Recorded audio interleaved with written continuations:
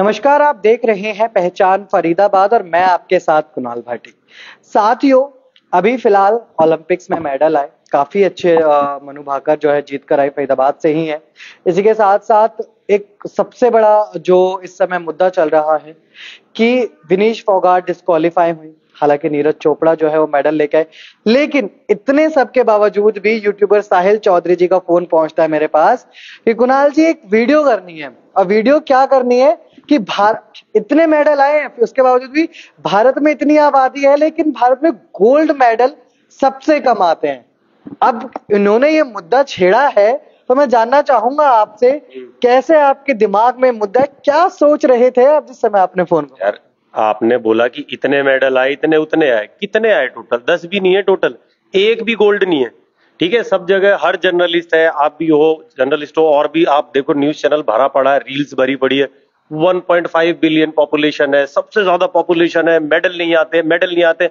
Debate चल रही है इसके ऊपर इतनी, लेकिन रीजन कोई नहीं बताएगा आपको कि क्यों नहीं आ रहे हैं। कोई स्पोर्ट्स कम्युनिटी को बोले जा रहा है, कोई स्कूल को बोले जा रहा है कि आधे घंटे का पीरियड होता है स्कूल में, वो भी मैथ टीचर आके ले जाती है। सब इसी को बोले जा रहे जेन्युन बात आपको कोई नहीं बताएगा कि यहाँ पे नेशनल स्पोर्ट जो है, वो क्या है, बताओ। इंडिया का जो नेशनल स्पोर्ट है, वो क्या है? आशकी है। यहाँ पे लोगों को रील बनाने से फुर्सत नहीं है थोड़ा बहुत टाइम बच जाएगा। मेरा जिम मैं पाँच साल से चला रहा हूँ। बीस साल से मुझे भी इस इंडस्ट्री में हो गए फिटनेस में। यहाँ पे जितने लोग आते हैं ना उसमें नाइनटी नाइन परसेंट सिर्फ़ लड़के यहाँ पे लड़कीबाजी करने आते हैं। लड़कियाँ अच्छी है क्राउड अच्छा है तो जिम चले जाएँगे। अरे तुम यहाँ पे सीरियस वर्कआउट करने आ रहे हो क्या करने आ रहे हो यहाँ पे? यहाँ लड़कियाँ भी इसीलिए आती है और लड़कियाँ नहीं भी आ रही होंगी तो वो भी लड़के देख रहे होते हैं हाँ कोई मिल गया। जोड़े बन जाते हैं यहाँ पे। महीने डेढ़ महीने बाद जोड़े बन जाते हैं। मैं अलग कर रहा होता भाई एक्सरसाइज करने आए यहाँ पे क्या करने आए यहाँ पे? पैसे दे रहे हो तुम। और बात चलो ये तो मैं छोटी सी बात बता रहा हूँ फिटनेस की। स्पोर्ट्स की बात करूँ मैं आपको सबसे बड़ी जो हमारे यहाँ इंडिया में प्रॉब्लम है वो है पेरेंटिंग की। जहाँ से प्रॉब्लम की शुरुआत होती है। बच्चा जैसे स्कूल में एडमिशन होता है उसमें पढ़ाई का बोझ थोपे चले जाते पढ़ पढ़ मैं तो खुद भुगता हुआ हूँ यार। मैं भी कहीं ना कहीं शायद एथलीट बन सकता था। लेकिन अब यार तीस चालीस परसेंट बंदा लाने वाला है। नहीं जा रहा दिमाग पढ़ाई में लेकिन पढ़ेगा पढ़ेगा। नंबर क्यों नहीं आ रहे हैं तेरे? नंबर क्यों नहीं आ रहे? बोल बोल के मैं एट्थ क्लास में लटक गया। फेल हो गया बहुत गंदी मार पड़ी। उसके बाद मुझे और की सीबीएसई से निकाल के हरियाणा बोर्ड में पटक दिया लाइक ऑलमोस्ट मैं सरकारी स्कूल से पास आउट हूँ। ये एवीएन से। सब क्योंकि पढ़ पढ़ पढ़ अरे अंदर का स्पोर्ट्समैन ही मार दिया तुमने यार। पढ़ पढ़ पढ़ पढ़ाई नहीं जा रही दिमाग में भाई। पढ़ स्कूल के आप बोल रहे हो कि स्कूल में स्कूल वालों को भी रिज़ल्ट देना होता है। वरना पेरेंट्स आके बोलेंगे बच्चा फेल कैसे हो गया? आप पढ़ा नहीं रहे हो। उसमें मान लिया मैंने आधे घंटे का पीरियड होता है। नहीं मिलती फैसिलिटी उसमें क्योंकि उनको रिज़ल्ट देना है भाई। एट दी एंड उनको बड़े बड़े ये दिखाने के हमारे स्कूल से इतने लोग पास आउट हैं। अगर मैं खुद से अगर मेरे पेरेंट्स चाहते कि मैं एक अच्छा एथलीट बनूं मेरा टैलेंट पहचानने का काम किसका है? सबसे पहला काम मेरे पेरेंट्स का है ना पहचानने का काम? मेरा बेटा स्विमिंग में बेस्ट है आज की डेट में। मुझे पता पूरे स्कूल में सबसे बेस्ट स्विमिंग करता है। अब स्कूल वाले कंपटीशन नहीं करा रहे ये स्कूल की प्रॉब्लम हो गई ना। बाकी वो जब भी स्कूल में कभी भी एक उसको हफ़्ते में शायद एक ही दिन स्विमिंग के लिए मिलता है। वो करता है बढ़िया स्विमिंग करता है। लेकिन अब मैं चाहता हूँ स्कूल वाले उसको कंपटीशन में आगे भेजे, वो नहीं भेजेंगे तो मैं भेजूँगा उसे। मुझे मालूम है वो कर रहा है बढ़िया। लेकिन हमारे यहाँ पेरेंटिंग की सबसे बड़ी प्रॉब्लम है कि वो अपने बच्चों को बहुत ईजी लाइफ देना चाहते हैं कि क्यों दिन रात दौड़ धूप कराएँ, क्यों मेहनत करवाएँ। मेरे एक पहचान वाले हैं, यहीं पे पंचर बनाते हैं वो भाई। बड़खल चौक पे दुकान है तुम तो फरीदाबाद के पता पंचर बनाते, उनकी लड़की 100 मीटर 200 मीटर 400 मीटर खेलती थी। मॉडर्न स्कूल स्कूल ने उसको स्कॉलरशिप दिया। वो खेल रही है, मान लिया मेडल नहीं आया, अमिताभ बच्चन की झुंड मूवी में उसे लिया गया। आज सेल्फ इंडिपेंडेंट है, खेल रही है, कभी हैंडबॉल खेलती है, फिर बीच में मैंने सुनने में आया, क्योंकि एथलीट है, उसको फिर फुटबॉल टीम में ले लिया गया। वो उसमें खेलती रही। तो लैक हम यहाँ नहीं कर रहे हैं। उसमें चलो पेरेंट्स सबसे पहला रीजन तो पेरेंट्स आ गया। बारह तेरह साल तक पेरेंट्स खींच के रखते पढ़ेगा पढ़ेगा, पढ़ाई में ध्यान दे, पढ़ाई में ध्यान दे। स्कूल वाले भी मुझे बोलते हैं बच्चा पढ़ाई में नहीं दे रहा है, बच्चा पढ़ नहीं रहा मैंने कहा तो तुम्हारा काम है, मैं तो यहाँ इसे पढ़ाई लिखाई करने के लिए ही तो भेज रहा हूँ मैं इसे। इससे मेरा क्या लेना देना है? पढ़ नहीं रहा, वो तो तुम मुझे बताओगे ना, वो तो मैं तुम्हें बोलूँगा, बच्चा पढ़ नहीं रहा, क्यों पढ़ने मैं यहाँ तुम्हारे यहाँ खाना खाना बनाने के लिए भेज रहा हूँ मैं। अरावली इंटरनेशनल में पढ़ता है। मैंने कहा, ये पढ़ाई के आज के बाद मुझे मत बोल देना, ये तुम्हारी रिस्पॉन्सिबिलिटी है कि वो पढ़ेगा नहीं पढ़ेगा, कितने मार्क्स लेकर आता है ग्रेड्स लेके आता है। फॉरेन कंट्री में बच्चों को जाते ही छोड़ दिया जाता है। बेटा, जो मर्ज़ी करो। वहाँ की पेरेंटिंग बहुत बढ़िया है। यूएस के टोटल मेडल पता है आपको कितने? 2000 से भी ज़्यादा है। सबसे ज़्यादा है वर्ल्ड में मेडल छोटे छोटे देश, जमेका, हंगरी बुल्गेरिया ऐसे ऐसे देशों में भी कम से कम आज की डेट में पाँच पाँच सौ मेडल है। इंडिया में गोल्ड मेडल क्यों नहीं है? यहाँ पे कोई किसी की लुगाई लेके भग रहा है? कोई प्रेमी, प्रेमिकाओं के पीछे पड़े हुए हैं? ये सबसे ज़्यादा तुम भी देख रहे हो। कितने मर्डर फडर ये छोटे गाँव में तो यही सब चल रहा है। क्योंकि उनके पास खेल कुछ है नहीं है। पेरेंट्स बारह तेरह साल तक ध्यान नहीं देते हैं कुछ भी। पेरेंट्स अपनी ज़िंदगी में लगे पड़े मेरे पेरेंट्स क्या? खूब मैंने अपने घर में झगड़ा देखा है। अरे, उनके झगड़ों के चक्कर में तुम बच्चों की ज़िंदगी खराब कर रहे हो यार। मैं, हमारी आधी ज़िंदगी माँ बाप के झगड़े सुलटाने में ही निकल गई, मुझे मालूम है। डेढ़ डेढ़ दो दो महीने उनके झगड़े चल रहे, चल ही रहे हैं। घर में खाना नहीं बन रहा तो बाहर से खाने आ रहे हैं। उनके चक्रों में लगे पड़े रहे। हम पेरेंट्स ही आपस में नहीं बना बना पा रहे ढंग से कि पेरेंटिंग में सबसे ज़्यादा हम लोग लैक करते हैं। इंडिया की पेरेंटिंग अच्छी नहीं है। पेरेंटिंग अच्छी है। नीरज चोपड़ा की माँ ने क्या बोला? जब पाकिस्तान का बच्चा जीत के है गोल्ड मेडल की वो भी हमारा ही बच्चा है। जब भी उसका बेटा आज वहाँ पे पहुँचा हुआ ना क्योंकि उसकी पेरेंटिंग इतनी बढ़िया है। कहीं ना कहीं अगर एक स्पोर्ट्समैन को अगर एक बच्चे को स्पोर्ट्समैन बनाना है तो पेरेंटिंग सबसे ज़रूरी है। बिल्कुल बिल्कुल सबसे ज़रूरी पेरेंटिंग है। सबसे ज़रूरी पेरेंटिंग है मेरे भाई। देख सकते हैं, जैसे कि अभी सबसे बड़ी बात बताई कि पेरेंटिंग एक बहुत बड़ी चीज़ हो जाती है कि अगर पेरेंट्स सपोर्ट करें तो बच्चा कहीं भी जा सकता है और अगर पेरेंट्स सपोर्ट ना करें तो बहुत एक बच्चा दब के रह जाता है पढ़ाई के प्रेशर में। बिल्कुल। बिल्कुल दबके रह जाता पढ़ाई के। यार, हर बच्चे को 80 90 परसेंट नहीं ला सकता। वो कोई टॉपर ही होते हैं एकेडमिक जो होते हैं, टॉपर होते हैं, उनको स्कॉलरशिप मिलती है। कहाँ जाते हैं, वही लोग बड़े बड़े स्टार्टअप खोल के बैठते हैं, फिर एंड में जाके। यहाँ पे क्या स्पोर्ट्समैन किसी को बनने ही नहीं दिया जाता। इक्का दुक्का बच्चा कोई निकलता है स्पोर्ट्स में। गवर्नमेंट तो उसे सब कुछ दे रही है। गवर्नमेंट ने इतनी अकेडमीज खोल रखी है इंडिया में। एक बात बताओ अला स्प्लिट्स विला के ऑडिशन के लिए लंबी लंबी रोडीज की ऑडिशन के लिए लंबी लंबी लाइनें लगा करती थी। है? कभी तुम किसी स्पोर्ट्स के ट्रायल्स चल रहे हो, वहाँ दिखाओ मुझे कहीं इतनी लंबी लाइन। यहाँ पे फ़ेमस होने में पड़ी हुई है सारी की सारी जनता। अभी चलो जब से सोशल मीडिया आ गया है। अबे रील बनाएँगे, कुछ भी उल्टी सीधी हरकतें करेंगे फ़ेमस होना है बस खाली। एलविश यादव जैसा जब बिग बॉस जीत के आता, ये पूरा चक्का जाम कर रखा था, इतनी पब्लिक थी। दिमाग खत्म हो गया तुम्हारा, ठस हो गए हो। यूथ खुद भी प्रॉब्लम है। सबसे पहला रीजन मैंने बताया पेरेंटिंग उसके बाद चलो फिर ये आ गया। पेरेंटिंग तो है ही है कहीं ना कहीं। तीस चालीस परसेंट उनका इशू उसके बाद सबसे बड़ा रीजन आता कि यूथ खुद नहीं बनना चाहता। इनको बिना मेहनत के फ़ेमस होना है। कि हम बस किसी को भी पूछ लो मुझे बहुत बड़ा आदमी बनना है। बहुत बड़ा, अरे क्या करके बनना है, ये तो बता दे। खाली बड़ा आदमी बनना है। क्या करके बनेगा, ये बता, ये लड़का ये लड़का क्या नाम, मैंने इसलिए इसको बिठाया कि ये छह साल स्टेडियम में काम करके आया है। तीन साल इसने नेहरू स्टेडियम में काम किया, ढाई साल इसने मेजर ध्यानचंद स्टेडियम में काम करा। इसके जैसे वहाँ पे हज़ारों लड़के काम करते हैं, जो साफ़ सफ़ाई करते हैं, स्टेडियम को चमकाते हैं, ताकि एथलीट को अच्छे से अच्छा ट्रैक मिले अच्छा ग्राउंड मिले खिलाड़ियों को खेलने के लिए। लोग बाग आते खा पी के भी छोड़ जाते गन मचाते वो भी ये लोग करते हैं। उनके रूम, बाथरूम से लेकर हर चीज़ से लेकर ये लोग इतनी मेहनत करते हैं। इनको पैसे कौन दे रहा? सरकार दे रही है। वो चीज़ को पैसे कौन दे रहा? सरकार दे रही है। अरे तुम उस लेवल के जाओ तो सही, उस लेवल की प्रैक्टिस तो करो, मेहनत तो करो, कहीं से तो शुरुआत करो, सरकार तो देगी। लेकिन भाई तुम मेहनत ही नहीं करना चाहते हो। आज की डेट में मैं कितने सारे एथलीट को तो मैं देख रहा हूँ। भाई साहब वो रील डालने में फ़ेमस है। वो पूरे पूरे दिन के व्लॉग बनाने में फ़ेमस हो रखे हैं। मैंने सुबह ये किया मैं ये गया मैं यहाँ गया। अरे भाई तू करना अपने आप में। ये क्या लगा पड़ा है? किस क्यों दिखा रहा है अपने पर्सनल ज़िंदगी की? मैं ये देखो मेरा स्ट्रगल देखो। मैं सुबह यहाँ जाता हूँ मैं ये करता हूँ मैं वो करता हूँ फिर रात तक का मैंने ये खा लिया मैंने ये क्योंकि तुमको फ़ेमस होना है। एक लड़की जो अभी तुमने मन्नू भाकर का नाम लिया था।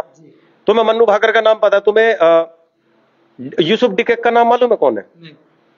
अब तुम्हें देखो यूसुफ टिके आज के बाद तुम ये मन नाम कभी भूलोगे नहीं और जो भी ये वीडियो देख रहा है ना अगर जो ओलंपिक के बारे में थोड़ी भी नॉलेज रखता है तो उसे यूसुफ टिकेक पता होगा। यूसुफ अभी मन्नू भाकर किस चीज़ में मेडल लेकर आई है? निशानेबाजी में ये तो पता है। निशानेबाजी में कानों में ये ऐसे बड्स पहनाए जाते हैं ताकि आवाज़ ना जाए एक आँख ऐसे ढक दी जाती है कवर लगाया जाता है ताकि दूसरे पे कंसंट्रेशन एक और लेंस लगाया जाता है ताकि जो ब्लर चीज़ें बिल्कुल फोकस दिखाई दे। यूसुफ डिकेक भाई साहब आते हैं 51 ईयर ओल्ड टर्की के। यीशु भाई साहब आते हैं, ना कान में कुछ लगाया, ना कुछ लगाया, ना आँखों पे यूँ चश्मा वैसे लगा हुआ, सीधी गन उठाई बड़ा उसको चाहिए ही नहीं भाई, वो फोकस्ड ऑलरेडी इतना इतना कर कुरा के, तुम ये निशाने लगा रहे हो तो बच्चा भी लगा देगा। इतने ताम झाम पहन के, उसके बाद तो मैं तो मानता ही नहीं वो गेम हो गई, मैं तो यूसुफ टिकट का फ़ैन हो गया। उसके बाद से मैंने कहा, भाई, उसने पूरा इंटरनेट हैंग कर दिया। उसको तो मीम्स पे मीम्स इतने सिल्वर मेडल उस बंदे का। सिल्वर मेडल गोल्ड वाले ने लेंस लगा के उसका सिर्फ़ एक मिलीमीटर दूर था बीच सेंटर से। मिलीमीटर दूर था बस खाली। क्या फ़र्क पड़ गया? मेरी नज़र में तो वो गोल्ड से भी ऊपर है। है कि नहीं? मेरी नज़र में तो गोल्ड से भी ऊपर है। एक वो शिकारी। शिकारी मालूम है कौन है? Hundred metre two hundred metre race की चैंपियन रॉकेट बोल रहे हैं उसे शिकारी को। अमेरिका की है।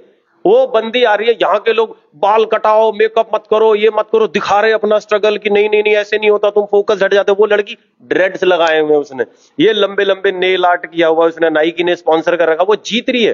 हंड्रेड मीटर की रेस कम से कम इतना फासला रह गया होगा, वो जीतते जीतते ऐसे एटीट्यूड देखो पसीना झाड़ गया बाय बाय वो किटाटा चलो अपना गोल्ड फिक्स ये होता है विनर एटीट्यूड ये नहीं हार गया। माँ, मैं आज के बाद नहीं खेलूँगी। मैं तो कुश्ती जीत गई। अरे, तेरी माँ ट्वीट देख रही है? तेरी माँ ट्विटर पे है तो तुम दुनिया को दिखा रहे हो, दुनिया से सिंपति चाहिए तुम्हें। इसलिए तुम दिखा रहे हो। ये विनर एटीट्यूड होता। अगली बार फिर आ जाना।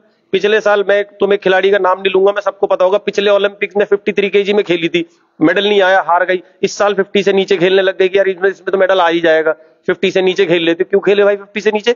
53 में खेल लेते। जब तुम्हारा बॉडी वेट तुम्हें मालूम है कि इससे ज़्यादा नहीं जा सकता, बहुत दम लगेगा, दो दिन भूखा रहना। और दो दिन भूखा रहने के बाद तुम इतनी तुम्हारे अंदर एनर्जी नहीं बचेगी। तुम खेलोगे क्या? वैसे बेहोश हो जाओगे।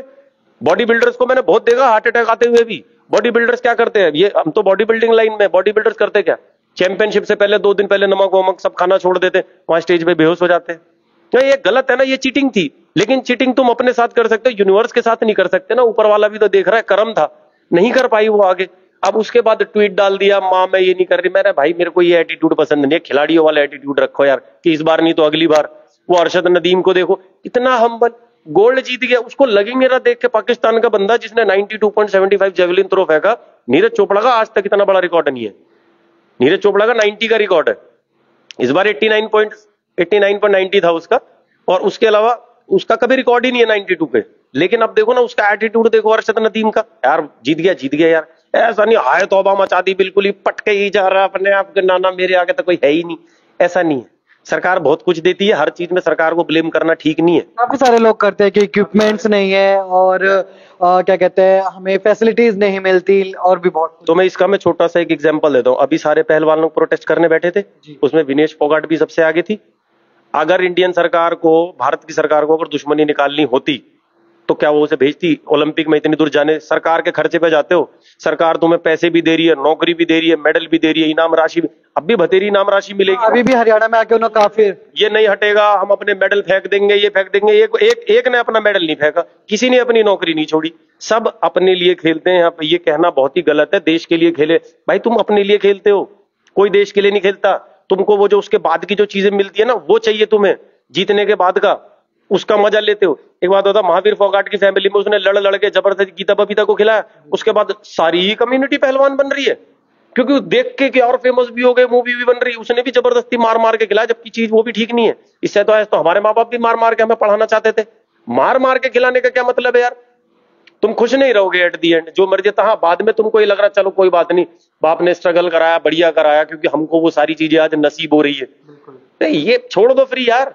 जिसको जो करना लाइफ में करने दो। और मैं बता रहा हूँ भगवान सबके अंदर टैलेंट डाल के भेजता है कि यार जा बेटा जिम जा या कुछ भी कर बॉडी बिल्डिंग कर कोई क्रिकेट खेल फुटबॉल खेल सब कुछ मिलता है उसे। मतलब एक कहीं ना कहीं कमी हमारे अंदर भी है कि पहली तो अपने अंदर ही है यार। बिल्कुल सबसे पहली कमी तो हमारे अपने अंदर हम दूसरों पर कैसे थोप सक थोप सकते हैं उस चीज़ को कि राजनीति अरे तुम भी तो राजनीति कर रहे हो। तुम भी तो सारे पहलवान मिलकर वहाँ प्रोटेस्ट कर रहे थे कि हमारे बीच का कोई अध्यक्ष आ जाए ताकि हमको ट्रायल्स ना देने पड़े। मान लिया ब्रजभूषण ने सब गलत करा होगा, लेकिन तो फिर अपना बंदा क्यों बैठा रहे बीच में? ब्रजभूषण ने, अरे बारह साल बाद तुम सोचोगे, जाग रहे हो कि ब्रजभूषण यौन शोषण करता है, ये करता है, फलाना करता है? फिर उसके बाद भी अभी जो अध्यक्ष है उसका भाई बन गया। अब उसने कौन सी दुश्मनी निकाल ली? भाई किसी से? किसी को जाने ही ना देता वो। अब भी तो सारे पहलवान हरियाणा से ही जा रहे हैं, और तो कहीं से जा नहीं रहे। इटली का पहलवान जीत रहा तो अबे इटली तो फ़ेमस भी नहीं है पहलवानी के लिए, फिर भी वहाँ की ट्रेनिंग ऐसी चल रही है। बंदे को इंटरेस्ट है। रेसिंग में कोई जाता है इंडिया से? एक धावक भाग मिलकर भाग के बाद आज तक कोई गया? एक बायोपिक बनी थी, साइना नेहवाल की। उसमें साइना नेहवाल ने शादी भी करी एक लड़के से। वो भी बैडमिंटन प्लेयर था। वो निखद अपनी ट्रेनिंग छोड़ के उसकी ट्रेनिंग पे लगा पड़ा, लुगाईबाजी में लगा पड़ा मूवी में देख सकते हो। उसका गेम में कोई इंटरेस्ट ही नहीं है। उसका पूरा इंटरेस्ट ही लुगाईबाजी में साइना नेहवाल में हो रखा। कहाँ से मेडल लाएगा वो बंदा? आज तक नहीं दिखा होगा तुम्हें कहीं गेम खेलता हुआ। उसने भी अपनी पूरी जवानी खेला ना, उसमें तो कोई राजनीति नहीं मिली बढ़िया ट्रेनिंग मिल रही, सब कुछ मिल रहा था। लेकिन आशकी से हटे, जब तो कुछ करें ये लोग भी। जिसको मौका मिल रहा है, वो आशकी में बर्बाद हुए जा रहा है। जिसको मौके नहीं मिल रहे, वो सरकार को दोषी ठहराए जा रहे हैं, या स्कूल को दोषी ठहराए जाते हैं। तो मेरे भाई, ये ये सब शिकायतें हैं ये। हम किसी से कोई शिकायत नहीं कर रहा जो ज़िंदगी में मिला उससे खुश है यार। लेकिन ये नहीं है कि यार, ये नहीं मिल रहा 1.5 बिलियन की नहीं मिल रही है। जिस दिन हमारे देश से पेरेंटिंग सुधर गई ना पेरेंटिंग ठीक होगी। आज भी हमारे माँ बाप घर से निकल यहाँ लड़की आती है, जिम करने आती है और छोड़ने भी आ रहे हैं ले लेने भी जा रहे हैं, जैसा पता नहीं का यहाँ यहाँ क्या हो रहा है यहाँ पे। विश्वास रखो अपने बच्चों पर, यार क्यों गलत करेंगे वो? आप भरोसे से उनको भेजो तो खुद से किसी दिन अकेडमी लेके तो जाओ, सात आठ साल के बच्चे को अकेडमी लेके जाओ यार मेरे को ये ज्वाइन कराना, मैं चार साल की को स्विमिंग कराने ले गया था। वहाँ देखा उसे मज़ा आ गया। मैंने उसे क्रिकेट खिलाया मैंने उसे फुटबॉल खिलाया मैंने उसे सारे गेम खिलाए। उसको फुटबॉल में इंटरेस्ट है या स्विमिंग में इंटरेस्ट है? तो कर भाई फिर मैंने उसे स्विमिंग सिखाई। चार दिन में स्विमिंग सीख गया यार वो। मतलब गॉड गिफ्टेड टैलेंट हुआ ना उसके अंदर। इतने से बच्चे को स्विमिंग नहीं आती है। ओ भाई छह फुट में जा रहा अंडर वाटर कर रहा डाइव कर रहा फ्लोटिंग कर रहा सब कर रहा है। उसको आ गई करनी। आज बहुत टॉप की स्विमिंग करता है। देख सकते हैं तो सबसे बड़ी चीज़ जो साहिल चौधरी जी ने कही वो ये थी कि आज के समय में इंडिया में पेरेंटिंग सुधारना बहुत ज़्यादा ज़रूरी है। और वो ज़रूरी क्यों है कि अगर हम अपने बच्चे पे विश्वास नहीं रखेंगे, हमने अगर ये नहीं देखा कि भाई, कि मेरा बच्चा ये कर सकता है, हमें ये देखना बहुत ज़रूरी है, परखना बहुत ज़रूरी है कि मेरा बच्चा आखिर जाना किसमें जाता है, सिर्फ़ पढ़ाई हाँ पढ़ाई भी ज़रूरी है लेकिन सिर्फ़ पढ़ाई ही ज़रूरी है ये बिल्कुल गलत है। तो ये ज़रूर देखें कि कहीं आपका बच्चा किसी स्पोर्ट्स में तो अच्छा नहीं है। जैसे कि एक एग्ज़ाम्पल भी बहुत अच्छा दिया था वो अभी तक भी याद आ रहा है कि नीरज चोपड़ा की माँ ने उस बच्चे को कहा था कोई बात नहीं वो भी हमारा ही बच्चा है। इसी वजह से आज नीरज चोपड़ा इतना अच्छा खेल रहे हैं। तो आ, आ, हमारे पेरेंट्स क्या कहते थे? अगला बच्चा फ़र्स्ट आ गया तेरे नंबर कम कैसे वो फ़र्स्ट है मैं बोल रहा हूँ बाबा एक बच्चा फ़र्स्ट आया है क्लास में सारे बच्चे फ़र्स्ट नहीं आए कि हम ही रह गए हैं बीच में। अरे तो उसकी बराबरी क्यों नहीं कर रहा? वो क्यों नहीं कर रहा? ये क्यों नहीं कर रहा? बहुत मार खाई है मैंने तो पढ़ाई के पीछे यार। तो बहुत मार खाई है। पढ़ाई को लेकर इतना स्ट्रेस बच्चों पे ना डालें कि जो गोल्ड मेडल इंडिया में आ सकते हैं वो कहीं ना कहीं चूक जाए। तो आपकी क्या राय है इस वीडियो पे? कमेंट के ज़रिए ज़रूर बताएँ। एक बात और कि आज के बाद ये सवाल मत करना कि 1.5 बिलियन पॉपुलेशन है और मेडल नहीं आते हैं। इसलिए मैंने आपको बहुत अच्छे से एक्सप्लेन में समझाया एंड कुछ त्रुटि हो गई कुछ गलती हो गई ज़्यादा बोल गया हूँ। तो यार माफ़ी है सबसे बट बातें सच्ची बोलिए, थोड़ी कड़वी भले ही लगे, लेकिन बातें सारी सच्ची है ये। ऐसे तमाम अपडेट्स के साथ आपको ज़रूर जोड़ूँगा, फिर से तब तक के लिए आप जुड़े रहे और देख रहे हैं पहचान फरीदाबाद। नमस्कार।